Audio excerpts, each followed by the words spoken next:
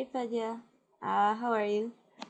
Um, so, so yeah, let's go through some of these questions. So you did splining and it took a long while. Yes, that is for sure one of the biggest things. The first pass of splining takes one of the longest out of any part of your workflow, to be honest. But the good news is that you still have to give it two, three, four passes of splining, and those are going to go way faster because you've already done a bulk of the work. And then another big thing to remember is after your first spline pass, things are still going to be floaty and things are still going to be weird. And that's why you have your second spline pass where you go through it again and maybe this time you don't go through all the graph editors and every drop. You look at it more as, oh, this part could be a little faster. Oh, this part could be a little sharper. Uh, maybe this foot can land a little bit more. And you start going in there and basically, you know, tweaking all sorts of little parts throughout your shot. And then you do it again in three, four, and then basically like four spline pass four, five, six is almost polishing. Um, I don't. There's not really a set number of how many passes you can go through and do this, but um, the first one's always the worst because you have to do so much work. You have to get it out of blocking, which is kind of like the hardest thing. But then after that, you're still left with this kind of floaty, mushy, still sort of thing going on.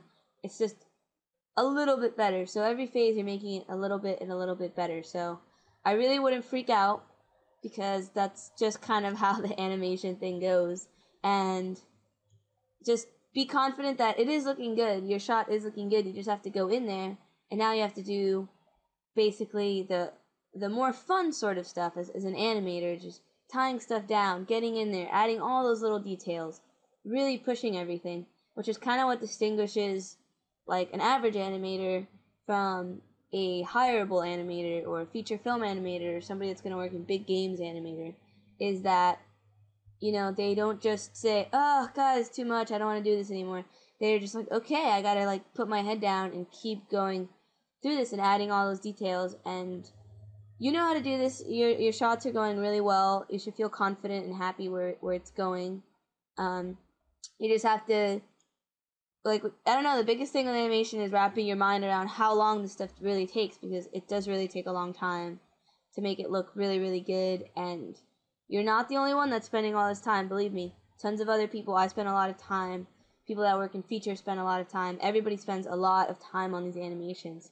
So nobody in the world does this in a day or 30 seconds or really fast with all these details. Uh, the only thing that, that does happen is you get a little bit faster.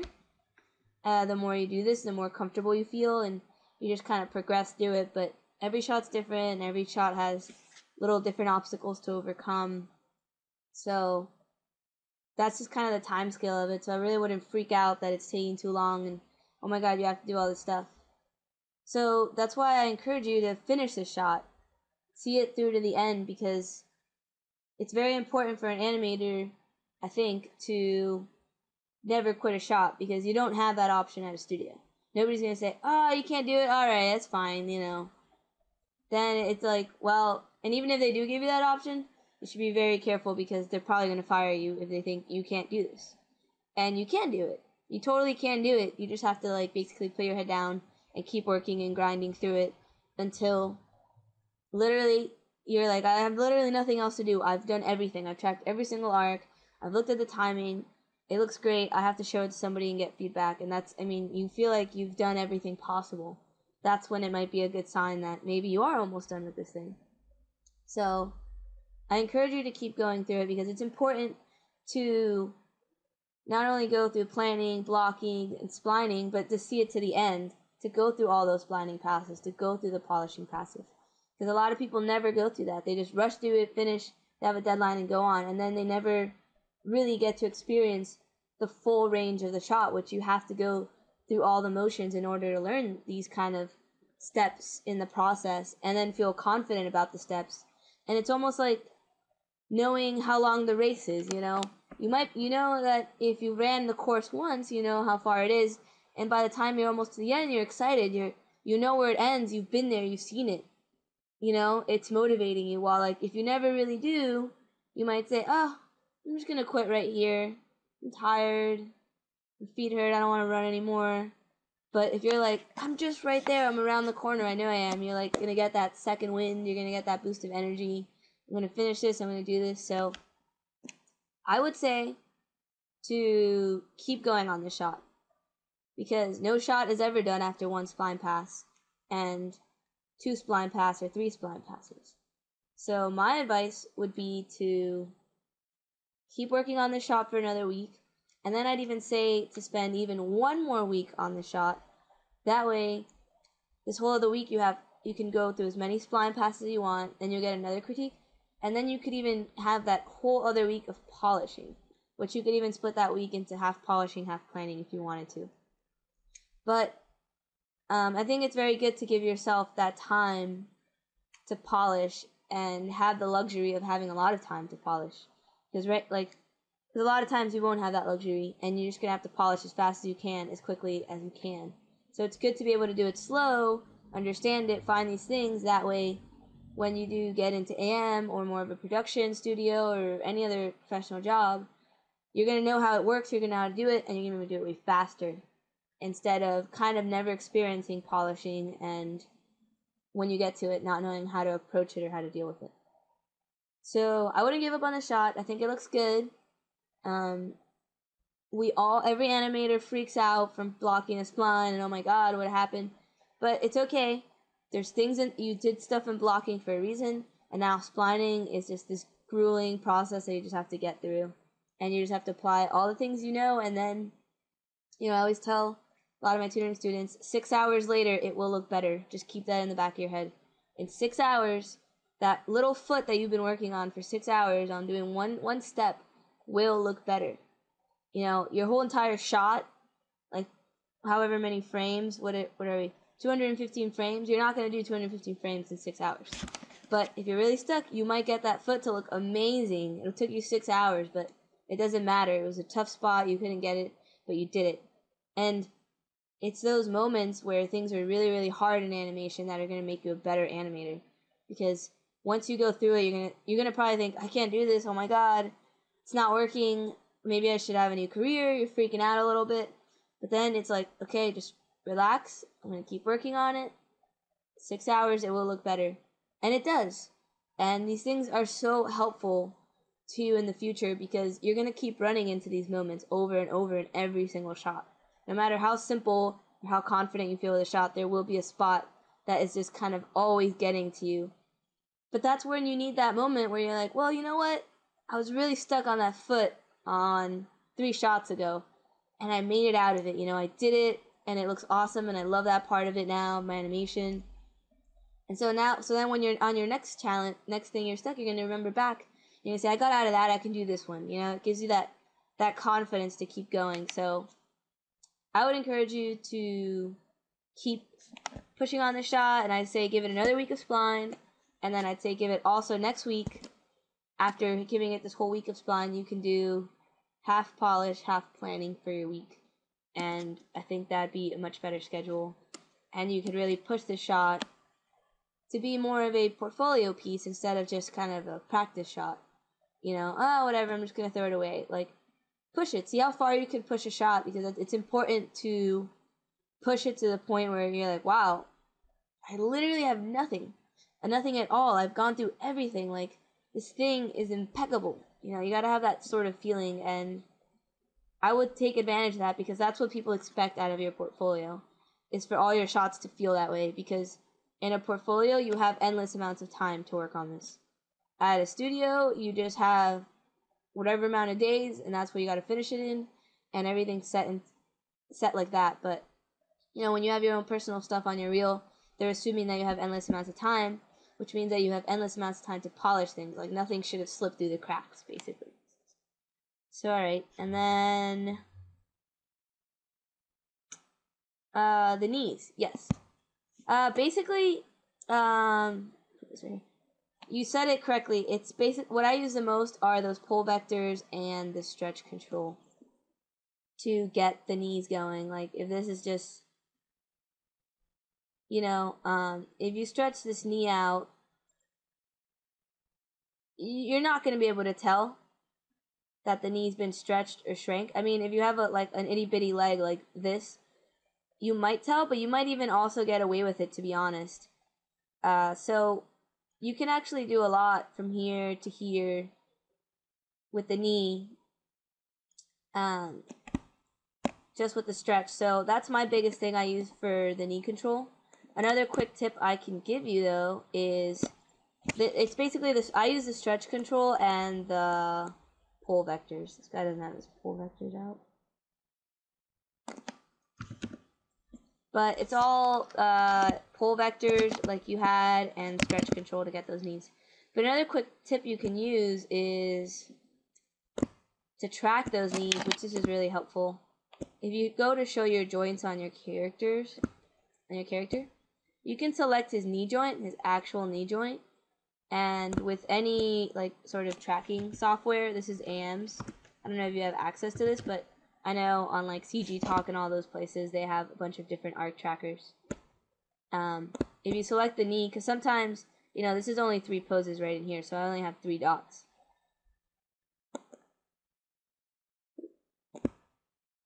Where are my dots? There they are. Oh, they're so small. Do that again. Select that knee. Alright, cool. So, um, so basically by selecting, oops, there are my red dots. So um, by using, by tracking just that knee joint inside the knees, you'll be able to kind of get all your dots and you know, that's when you'll see that maybe like this dot over here is actually goes back. So the knee goes forward and back and then it comes forward. And that's, you know, the point where you might want to take that knee, stretch it so that the dot matches up and then stretch this knee over here a bit. And it's all pretty painstaking work to be quite honest. Like there's no actual easy way of doing these. You just kind of have to go through it and match those dots so that you know, your dots are all going through your arc. You know, everything's moving forward. You don't have any wonky dots that go back and then forward and then up and then weird stuff like that. You know, you want to have your nice dots. Uh, with that said, though, I would, you know, I always leave the knees to the last possible second, basically. Uh, so, because you have to have the hips perfect, you know, all your timing and stuff on the hips has to be just right, and also the feet have to be just right.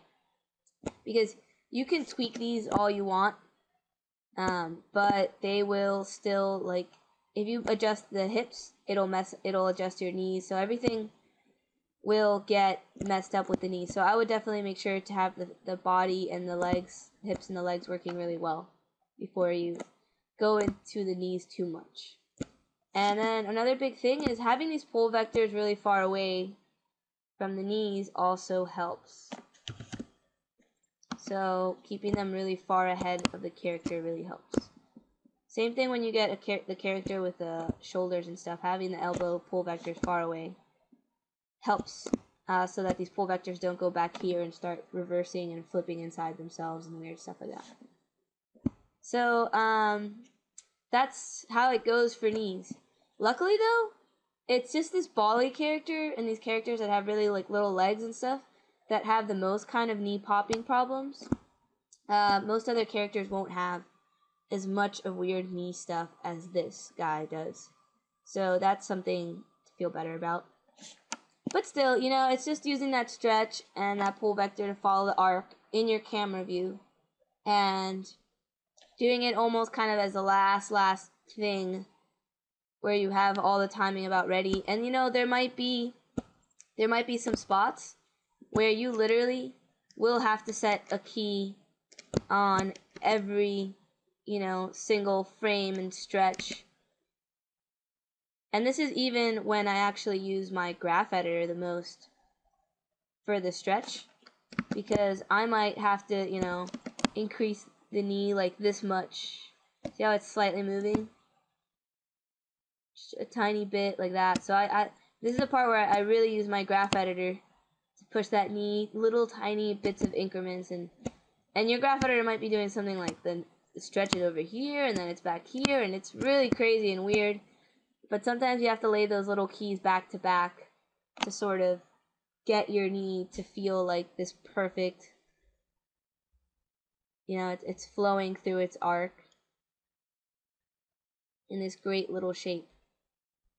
You know, your graph editor might look awful and, you know, the leg might stretch, but it'll be fine and nobody's going to be able to tell as long as you stay within this arc that the leg is stretching too far or too little. So just kind of keep that in mind. Okay, so that is for those questions. Now let's go through your shot. Take a look at it.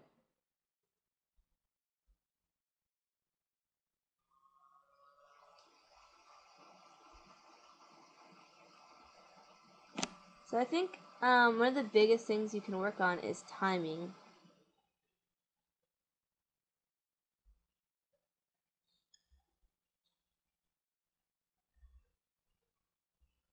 So right now,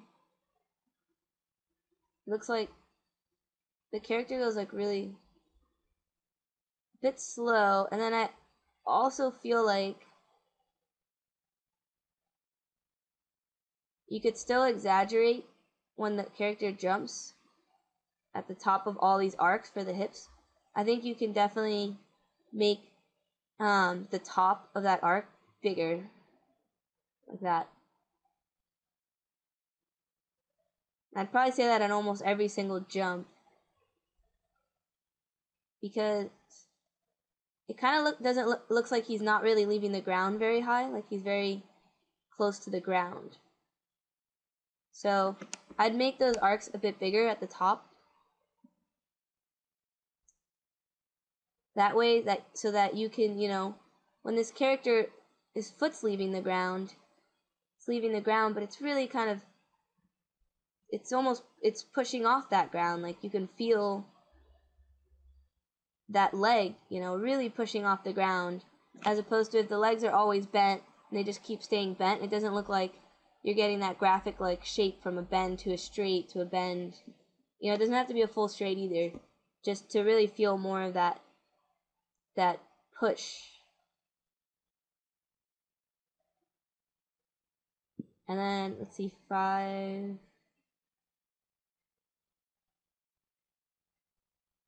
Right now it's five to about 14, so you're spending um, nine frames for the character to get up when I think you could actually do that in maybe like six frames, you know. Make it snappier, you know, like bounce, bounce, bounce, bounce, not bounce, bounce. And you're making it faster here, 15 to 16. But it's like, also kind of remember that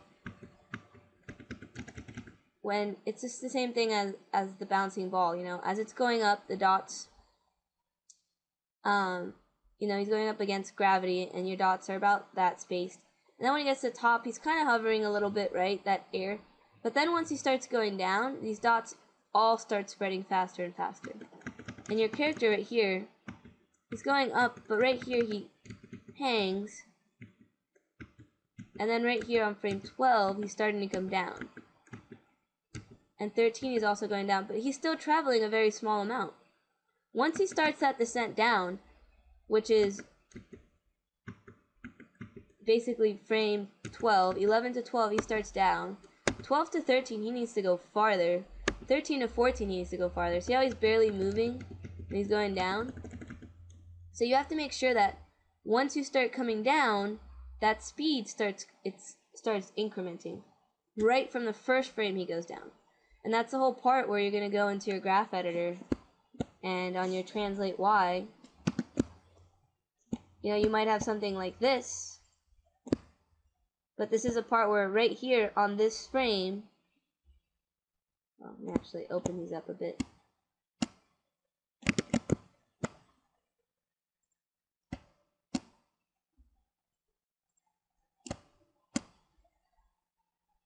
So Ignore the legs and all that crazy stuff. But on the translate Y over here, um, these are the parts where you know, right here on frame 5, even exaggerate it a bit more. Right here on frame 5, this, it's going down now. Like, if you look at it, you know, at frame 4, we were to track this like this, exactly. It's at 1 in frame 4. We're to put a dot right here. Now we're like somewhere like 0.9 in frame 5. So we're already going down here, basically. So what you want to do is, you know, you want to push this down. You want to break these tangents, break them, and you want to push this down, you know, even farther, and it's going to push, you know, if you look at your character here, like we'll go to frame 5, and we'll put a dot, I'll put a dot right here, so we can see the difference. Frame 4, and then here's frame 5. Here is frame 5 with just the default it gives us. It hasn't even gone down. It doesn't feel like it's going down. Here's frame 6. This thing is like barely dropping down, right? And we want something better. So let's push this a bit farther, right? So now at frame 5, I'll draw it with these blue dots. I'm here, and at frame 6, we're coming down. So see how the difference between these red ones and the light blue ones? And this is just from manipulating your graph editor so that now it's coming down fast instead of leaving sort of this default like similar timing. So I'd go in there in, into your shot and get that stuff working properly.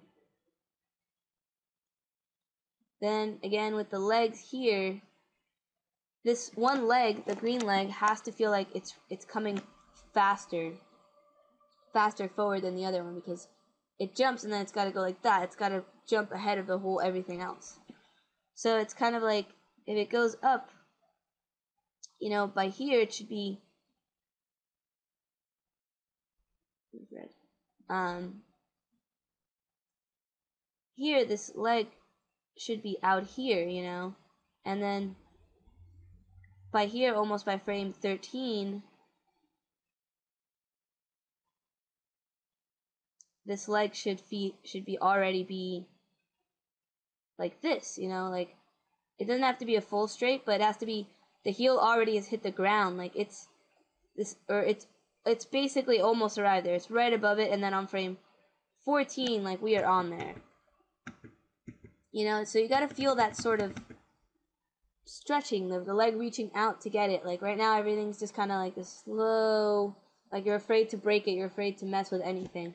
But these are this is the pass where you have to go in there and you know tweak these up and downs.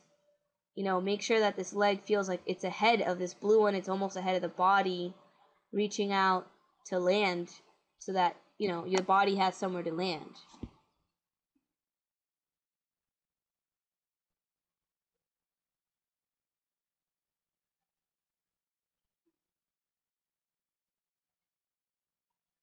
And then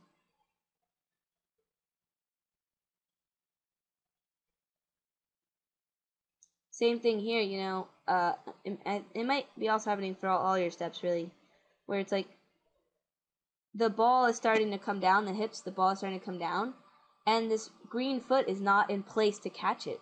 Like, once our body, just do it yourself, jump, and you're going to find that whatever foot you're going to land on, is already ahead of you. It moves a lot faster than everything else because it's the one thing you're going to land on. So your body isn't going to start coming down with that foot almost already not being there. So keep a close eye, like right here. At frame 24, we start going down. So at frame 24, you know, this foot needs to be like almost there already. And then at 25, bam, it has hit the ground, it's arrived. And 26, it's its foot is slammed, it's flat. You know, to to really basically push uh, those those the at beginning foot a little bit more.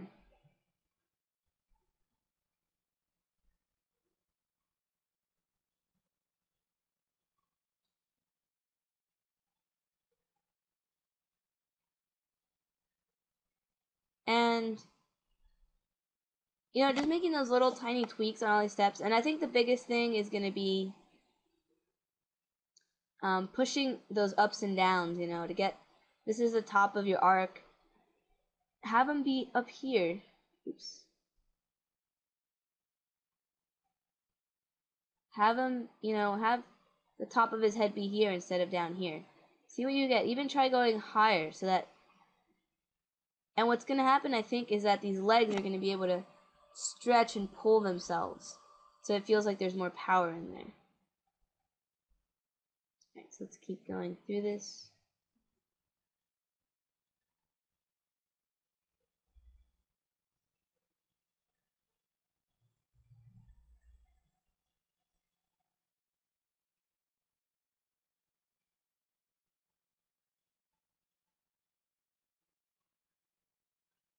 Right here in this jump, feels like he kind of lands a bit too far back. The ball should be a little bit more here. I think it's because in all the other jumps, he's got these like little baby arcs that are like, because the spots, the spaces are really close where he needs to jump. But then in this final one, he actually jumps a bigger distance. So I think um, you can move him forward so he doesn't look like he's falling back.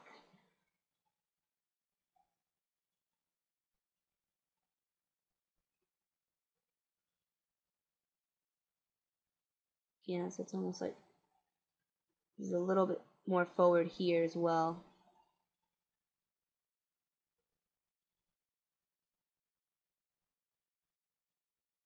And you know, keep right here, especially keeping an eye that when you're tracking your ball character, right here he gets stuck in the air. You know, like I track him at the center when, when you select. If you saw right here, once you select it, it gives you that, your cursor, and I put the dot right in the middle. So right now your character is going through, and then right here, frame 84, it's almost like he's frozen in, in the air right there. See, the body hasn't actually gone anywhere.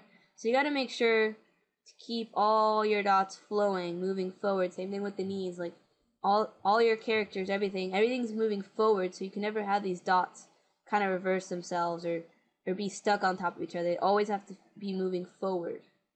So keep that in mind.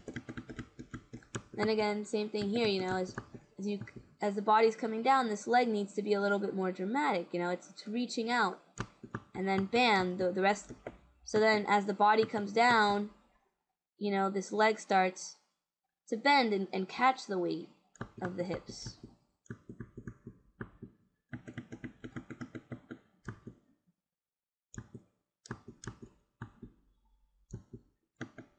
And then here, you know, once again, cleaning up these poses so that this foot is over here.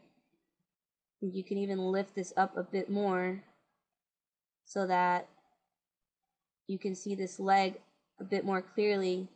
You could stretch it out so it feels like he's really doing this big pivot if you were to track this and coming around instead of this kind of like thing like this.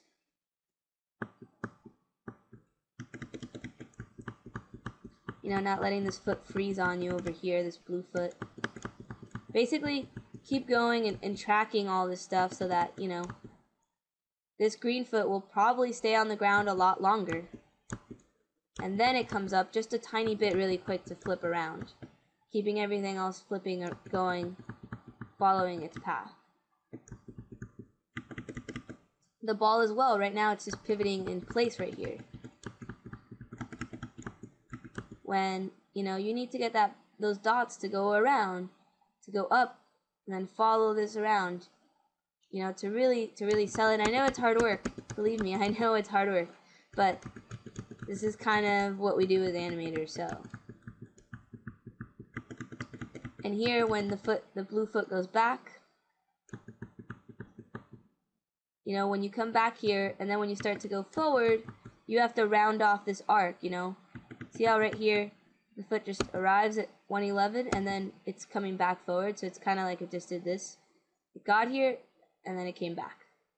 When you need to, at 112, maybe this foot needs to be a little bit farther back to get on so that it kind of actually goes around and forward So you got to be sure to round off those arcs and those edges so that you never have, you know, these dots that get there and then we're going here and then we go, it's like we're going here and then we just come straight back to here. No, you got to make sure that if you have four keys here, you got to make sure that you round off these dots so that it feels like the toe flows right through here and comes back through. Um, those are just all the little details of sort of being a, a, a professional in this business. Here again, like this, you could probably leave this foot still planted here. You know? Leave it to the last minute almost and then and then have it go quickly and land in front of the other foot. You know, so you're getting those that feel of this stretch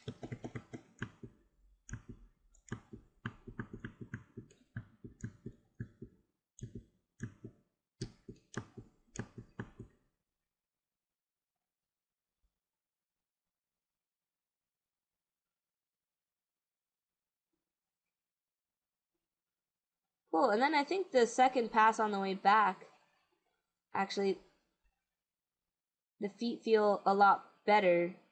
Um, these toes feel a little floppy, like a little too floppy. Like they're just doing a little bit too much of this. Like they just kind of look a little too like loose, like there's no bones in there.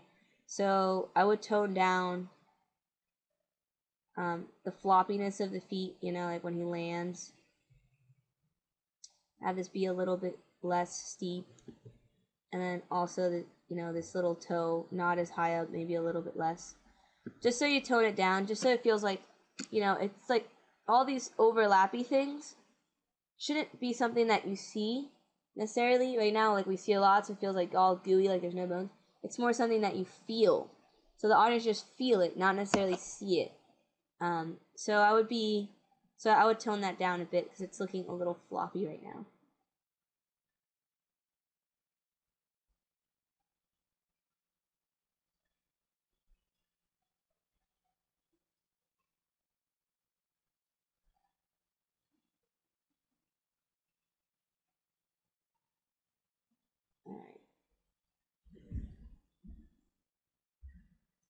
And then here on this last little bit, when the character lands and he comes up, be sure that every time a character stops or lands somewhere, there's always that kind of like residual dying down of energy. So it's like he lands and it's like this up and down, settle. Okay.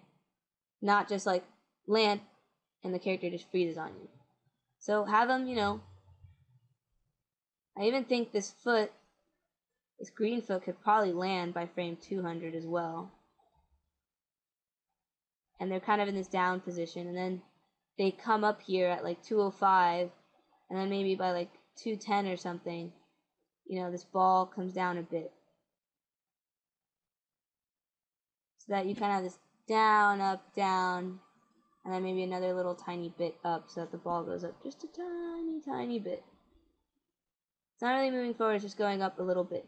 So you're kind of getting this like up and down little settle till the shot ends and it's come to its nice little settle. And I know it's more work, but you know, that's what we do as humans. Like, you gotta remember that in your animation is that we have forces and we have energy, and when character stops, we don't just fully come to a stop, you know, our hips have to stop and settle. And even, you know, the hips, when they arrive here, you can do with what we were talking about with the toe, where you round off that edge. So it's like, although the character is moving forward once he hits here, you have him go a little bit forward and then back around, and then he settles. You know, so it's not, and that's not just the up and down movement, but it's also this kind of little forward and coming back to catch that eh, that force and energy of moving forward to now coming to a stop. So I hope all these notes make sense, and I think it's looking really good. Um, this part over here, you have to clean it up the most, I think but I think you've kind of probably done the least amount of work there. So it's just a matter of putting in the time and putting in the work. So, and I think the shot's in a really good place. So I would just keep going with it, keep cleaning it up, um, keep tracking those dots, making sure that you know everything's moving forward. You don't have any dots that are kind of backtracking on you anywhere. You don't have any of this weird wonky stuff. You know, dots are all going forward. Everything's flowing through. Even if, you know, you're even if we're going this way and then coming back this way, we're not going to leave those edges sharp, you know, we're going to round off those edges. Everything's going to flow through. You know, arcs and dots will kind of help you solve so many of, of these weird glitchy problems. It's amazing. So make sure that, you know, you're going through all those and getting all that stuff cleaned up. And I know it's a lot of work, but just do it, you know, little bit at a time, little bit at a time, and keep going through, and I think you'll be fine through this shot.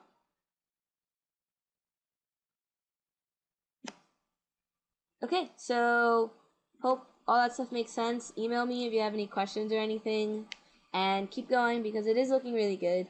Um, and don't worry if it's getting hard, if you're biting too much that you can handle, because that's kind of the only thing that's going to make you grow as an animator is challenging yourself every single time. And I don't think you're doing something that's too overly complicated. I think you're at a pretty good challenge. You know what you're doing in animation, you know, fairly well. You're in a good spot, and you're just challenging yourself a little bit. But I don't think you're like challenging yourself so much that I'd say, you know what, this is too much. You need to go back and do something simpler. I think you're kind of right at that perfect amount of challenge, I suppose, to keep to make it hard for you because it has to be hard so that you can learn from it and become a better person on your next shot or become a better animator, I guess, in the next shot that you do. So keep going and email me if you have any questions or anything. And hopefully you agree with spending one more week on this and then even another half week next week uh, to still polish it off. So that way you really give this shot its due time. And I think you'll be a lot happier a week and a half of work from now keep working on this to say, wow, I'm glad I didn't give up on it. It looks really great. You know, it was really hard to get through like this little turn at the end, but now I love it. I can't, I'm really glad I spent that time in there, and that's that's how you're gonna feel. Like you'll always love the most of your shot is the parts that are super hard. At least it happens for me all the time. The parts that I struggle the most with them, when it's done and it looks great, I'm like, wow, I just love it. I just can eat those frames up. It's great. It becomes my favorite part, and it's always the part that you found the hardest to be your favorite at the end, of course, when everything's done and everything's great. So keep at it and email me if anything. All right. Bye. Good luck.